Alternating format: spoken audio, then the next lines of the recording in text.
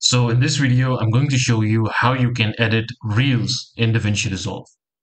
Now, for this tutorial, you need to download some images. So I have this image of a man and four different watches, and you will find a link in the description where you can download these images for free. So just go ahead, download these and import them in DaVinci Resolve, and you can follow along with this tutorial. Now, once you do that, just right click over here and go over to create new timeline and unselect the use project settings, go over to format and then click on use vertical resolution and hit create. Now you can drag in a fusion composition and let's extend this to 10 seconds like this.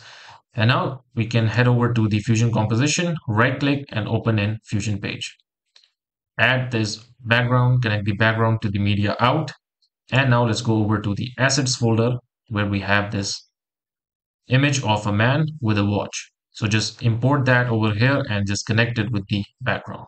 So make sure that you select your media in, which is the image that we have, and click on this transform. Now, while you have your transform selected, make sure you go over to 50 frames right here and create a keyframe at center, size, and angle.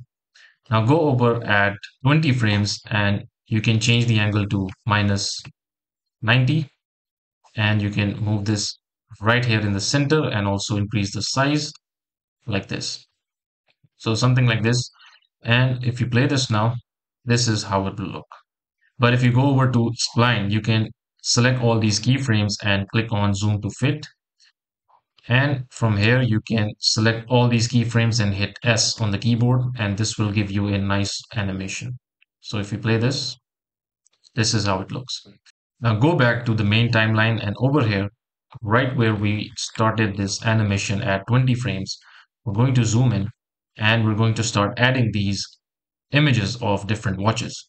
So let's start with this one over here and you can just select this tool, cut tool. You can also press B to select this and you can just make a cut right here at 20 or let's say 5 you can just go over and keep this at 5 and let's bring in the next one also 5 so let's cut this. B tool to cut and A to get back to the selection mode. And we're going to do the same thing for this one. So 15 over here. Delete. Delete this. And finally this one and this will end at 20 all right so if you play this this is basically the kind of animation that will appear but so now let's go ahead and adjust the position of these watches. So you can just select the first one and change the zoom like this and let's just zoom in as well from here. And let's change the rotation angle like this position so basically we're just positioning right where the watch is on the wrist like this. And now I'll also go over to cropping and change the softness all the way to minus 100 and you can change the crop top or crop bottom to reduce this from here so that this looks much more blended. Let's also change the position a little bit like this and something like this. All right. Now, of course, this is not going to be perfect, but since this is a quick animation, so it won't matter if you do it precisely. So just follow along and I'm just quickly now going to make all these changes. You can, you can just follow along.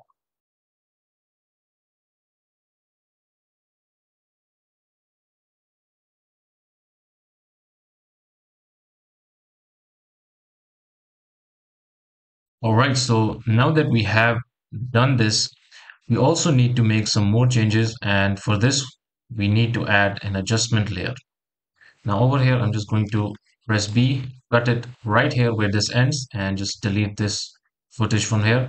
Now go over to adjustment clip and also click on OpenFX. So now just add this zoom blur over at the adjustment clip. And if you increase this, you will see this is how it looks. So if we zoom out a little bit, and change the amount all the way to 1 and right where this ends let's change this to 0 so if you play this right so we need to make sure that you create a keyframe. So I'm just going to create a keyframe at 0 right here at the end and at the start I'm just going to increase this to 1 so if you play this this is how it looks once we get here once we get at 2 what we can do is we can start to change the position from this side as well. So or let's just go over at 3 and make sure you have this fusion composition selected and create a keyframe at zoom position. And let's go over at 4 and zoom in change the position x and y. So somewhere around here. And if you play this right now this is how it will look. But if you click on over here where this is the keyframe for this fusion composition you can just click on this one this keyframe at the end and just select this and this keyframe at the beginning and select this. And if you play this you will get a smooth transition. So something like this. All right so over here we're going to add another fusion composition. So add four. Let's go over to effects add in a fusion composition extend it to the end and right click and go over to the fusion page. Now over here I'm going to add a text connect the text with the media out and let's type in collection and the font that I'm using is going to be Montserrat and let's change this to 0.2 change this to black. Now I'm going to add in another text and connect the text with this text one. Now over here I'm just going to first of all control C over at text one and then right click and then paste settings. So we will get the same settings but this time I'm going to change this to watch let's move this up and let's also change the size to 0.35 something like this. And now let's move both of these slightly up upwards like this. And for the text 2 I'm going to change the color to red.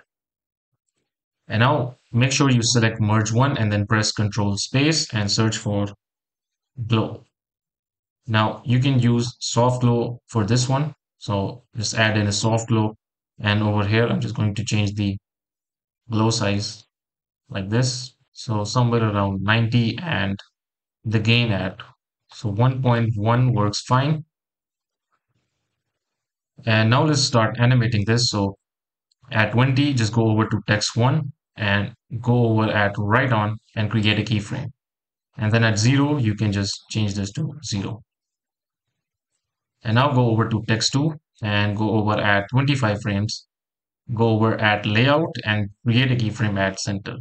Then at 5 just change this all the way up and this is how it will look. But go over to spline and make sure you only select this displacement for text 2 and select all keyframes and hit S on the keyboard. But this time select this keyframe move this right here. Select this keyframe move this right here and if you play this now this is how it will look. And if you go over here you will see that this is how it looks. Now for the image in the background let's also do some animation. So right here you saw that we had the zoom. So let's go all the way to the end and just increase the zoom and also move this position out. Something like this And now we need to add in our watches. So you can create another fusion composition for this. Make sure you extend it all the way to the end. Or what you can do is just create another fusion composition at 5. That's up to you. Right click, go over to fusion page, add in this background, connect the background to the media out. And now we can add in our images. So I'm just going to add in these images one by one like this. And select your background and add in these merge nodes four times. Now let's start with the first one. Click on merge one and you can now zoom in and change the angle somewhere around here and move this right here. Now connect the media in two. For this image, click on merge two and now you can change the angle for this one as well. Let's change this right here. For the third one, let's increase the size for this one as well and keep the angle as it is. And for the fourth one, let's just move this right here. And let me also just change the position for this one and for this one. And also for the first one, somewhere around here. So, so that they are close together. And if you go back, you will be able to see that we are not able to see the compositions underneath. That is because we also need to change the alpha for this background to zero. So if you go back, here you will see we have these watches right here. Now let's go back and over here at 20 frames, let's start the animation for each of these. So create a keyframe at center and do the same thing for all of these, all these merge nodes. And now let's go over at zero and start the animation. So this will appear from here. Merge two will appear from here.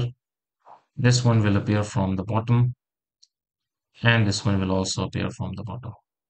So if you play this, this is how it looks. But you need to go over to spline and make sure you select all these merge nodes. Zoom to fit, click on zoom to fit and then select your keyframes and hit S the keyboard. So this is how it will look. Now you can go back and see how this looks. But one final thing I want to do here is that make sure you have your merge 4 selected and add in this color corrector. Now you can change the color for this all these images to red and that is because it matches with the text color that we have over here. Now let's go back. Make sure you have your color corrector selected and press control space. Search for soft glow once again. So make sure you only add it one time.